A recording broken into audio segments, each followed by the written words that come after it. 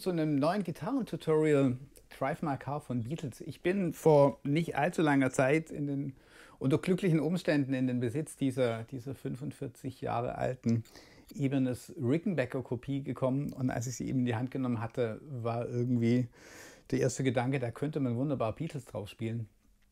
Und deshalb dachte ich, eine Beatles-Nummer wäre eigentlich auch ein schönes Ding ähm, für ein kleines Gitarrentutorial.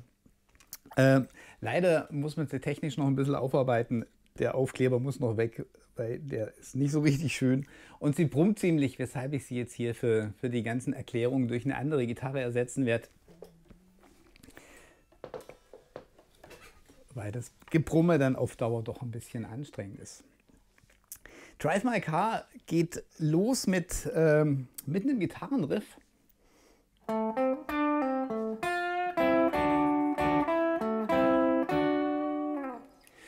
Und zwar, wir, wir starten in der, in der fünften Lage, siebter Bund, ähm, auf der, auf der D-Seite gegriffen mit dem Ringfinger. Dann geht es auf den fünften Bund von der G-Seite. Und danach ähm, ist sozusagen der Zielton, der siebte Bund auf der G-Seite des D hier. Und der wird aber nicht direkt angespielt, sondern man slidet so von oben rein. Und danach geht es auf das C hier runter wieder einen fünften Bund. Ja, bis dorthin.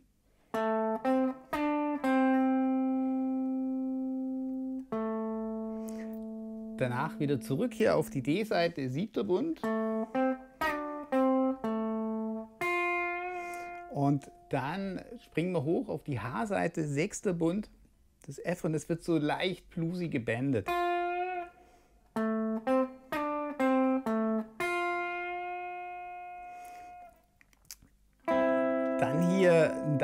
Stop am fünften Bund G- und H-Seite.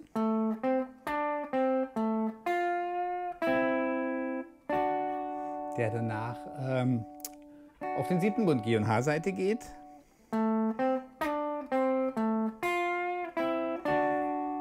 Und dieser siebte Bund wird dann nochmal angeschlagen. Wieder runter auf den fünften Bund.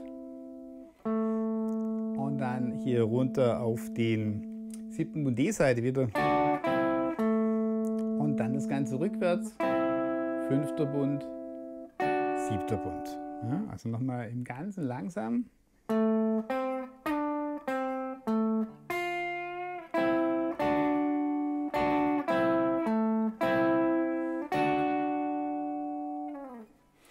Was bei dem Intro-Riff ein bisschen spannend ist, ist, wie es rhythmisch gemeint ist. Darauf würde ich aber dann am Ende des Videos nochmal eingehen. Da gibt es irgendwie ganz verschiedene Interpretationsmöglichkeiten. Ich habe auch mal von einem Interview mit Ringo Starr gelesen, der selber nicht so genau wusste, was sie da gemeint haben. Aber wie gesagt, das am Ende, für die, die es interessiert, jetzt erstmal weiter mit dem eigentlichen Stück, also mit der Strophe. Der Strophenteil geht, ich spiele es mal kurz vor.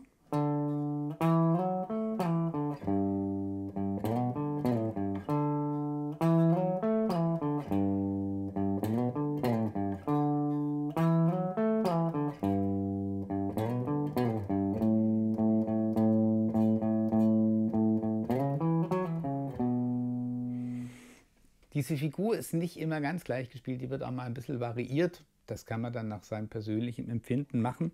Wir starten aber hier auf einem, auf einem D, fünfter Bund A-Seite.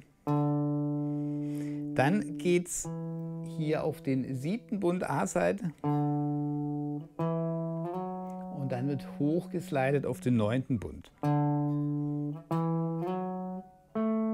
Und danach gehen wir auf den siebten Bund von der G-Seite ist im Prinzip der, der D-Dur-Akkord, der hier klingen soll, so ein bisschen ausgespielt. Ja? Grundton, die Terz und die Quinte. Danach schlagen wir wieder hier den neunten Bund auf der, auf der A-Seite an, aber rutschen sofort runter auf den siebten Bund. Dann geht es wieder zurück auf den Grundton fünfter Bund A-Seite. Und Und danach geht es auf, auf einen G-Dur-Akkord und jetzt kommt fast dieselbe Figur, die ist minimal anders gespielt.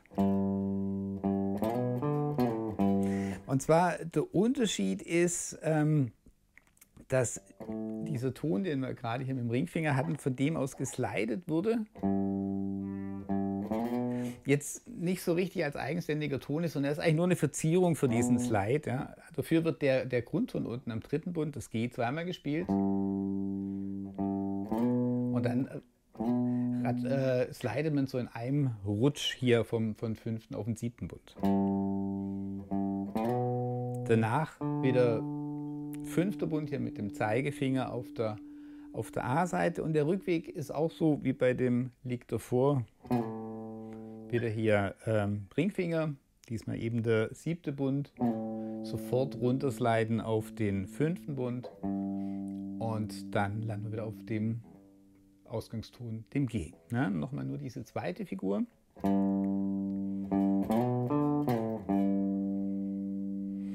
Und das wiederholt sich jetzt dreimal, das Ganze. Also immer D,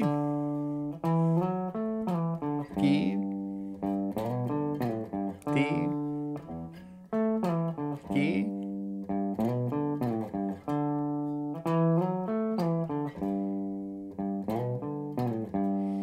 Und dann geht's, geht's auf den A-Akkord, das ist dann der Übergang zum Refrain.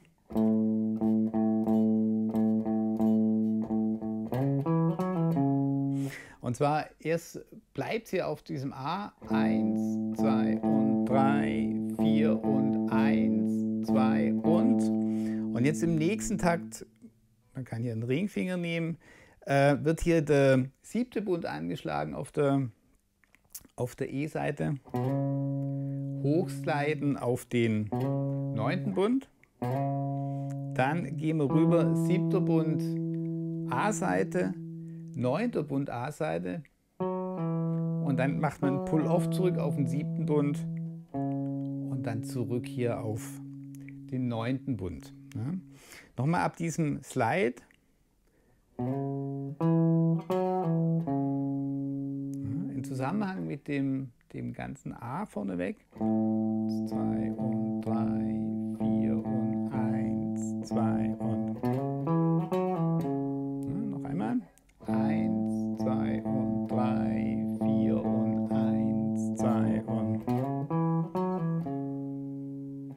dann startet der Refrain.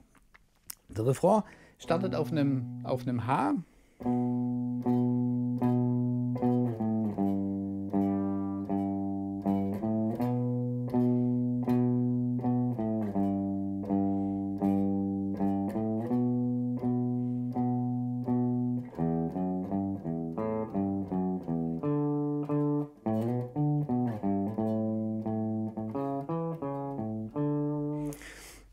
geht los mit H.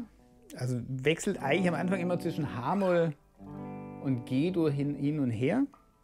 Eins, zwei, drei, vier und eins. Und als Durchgangston zwischen diesen beiden Basstönen wird das A hier immer zwischen eingespielt. Eins, zwei, drei, vier und eins, zwei, drei. Und Rückweg entsprechend auch wieder als Durchgangston hier dieser dieser fünfte Bund. Drei, vier und eins, zwei, drei, vier und eins, zwei, drei, vier. Ne? Und dann geht es anders weiter. Nochmal der Refrain bis dorthin. Eins, zwei, drei, vier und eins, zwei, drei, vier und eins, zwei, drei, vier und eins, zwei, drei, 4 und 1, 2, 3, 4. Und dann startet ein Lauf hier beginnend vom E.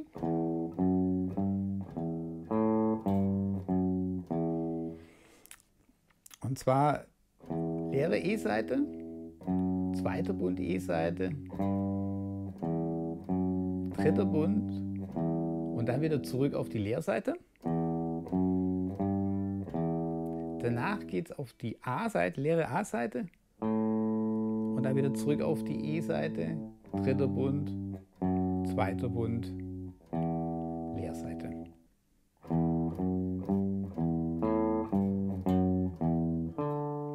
Nach diesem Lauf landen wir wieder auf dem D. Das D hier am fünften Bund auf der A-Seite.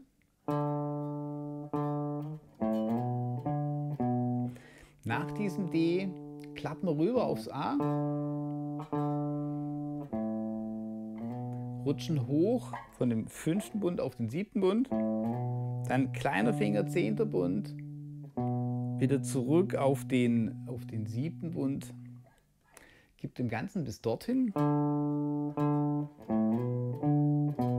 Und danach geht es runter auf den dritten Bund. E-Seite. Und das führt dann wieder zurück auf das A hier am fünften Bund. Ja, nochmal diese ganze Figur, die über diesen D-Akkord geht.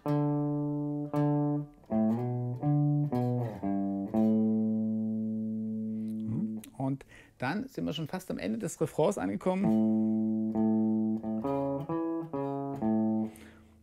Hier sind wir wieder von der Harmonie her auf einem A. Und das wird eigentlich nur mit den Akkordhöhen vom A ausgespielt. Diesem A, 1, 2, 3, geht es auf den vierten Bund, A-Seite des Cis, hoch auf das E, das ist der siebte Bund A-Seite, wieder zurück auf den vierten Bund A-Seite und dann wieder zurück auf den Grundton, fünfter Bund E-Seite.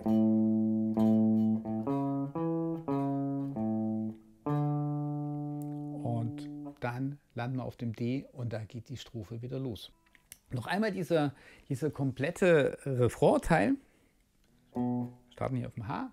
2, 3, 4 und 1, 2, 3, 4 und 1,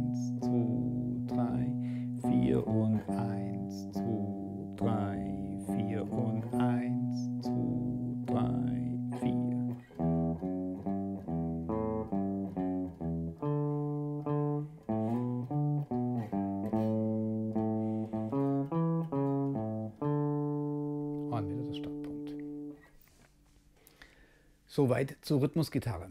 Nochmal zurück auf das Intro, das hatte ich ja am Anfang versprochen. Ähm, als ich das Lied damals rausgehört hatte, weil wir es mit einer Band spielen wollten, war für mich irgendwie rhythmisch relativ klar, dass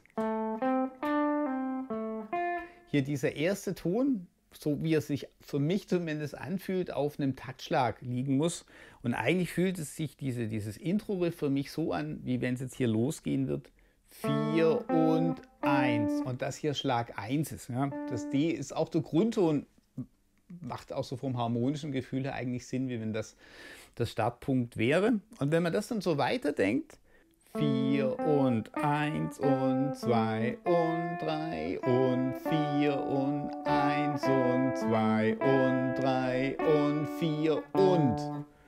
Käme man hier sozusagen auf die 4 und, also auf einer vorgezogenen 1 raus, was eigentlich alles mal logisch und plausibel ist und für mich das Riff auch das Anfangsriff stimmig klingen lässt.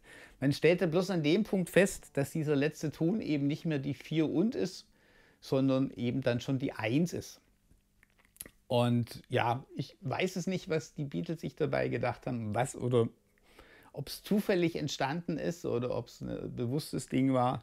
Ähm, wie gesagt, meine, meine rhythmische Interpretation ist eben die, wie gerade geschildert. Das Anfangsriff beginnt auf die 4, danach kommt ein kompletter Viervierteltakt.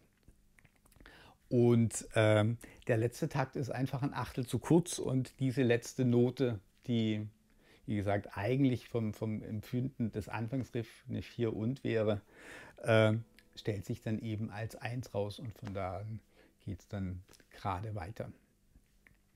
Wenn ihr das irgendwie anders interpretiert oder andere Varianten empfindet, schreibt es gern unten in die Kommentare. Ja, und wie gesagt, man, man findet auch im, im, Internet, wenn man unterschiedliche Noten anguckt, da auch ganz, ganz viele verschiedene Varianten. Noten von meiner Variante findet ihr auf meiner Patreon-Seite, auch mit dem ganzen Rest des Gitarrenparts. Könnt ihr euch äh, runterladen. Und ansonsten, wenn es euch gefallen hat, freue ich mich, falls ihr es noch nie getan habt, wenn ihr unten den, den Abo-Knopf drückt oder auch die Benachrichtigungsglocke betätigt. Dann werdet ihr informiert, sobald ein neues Video hochgeladen ist. Viel Spaß beim Üben und bis zum nächsten Mal. Und um nochmal auf diese Ibanez-Gitarre zurückzukommen, was ihr auch noch als Input aus diesem Video mitnehmen könnt. Niemals Aufkleber auf Gitarren kleben.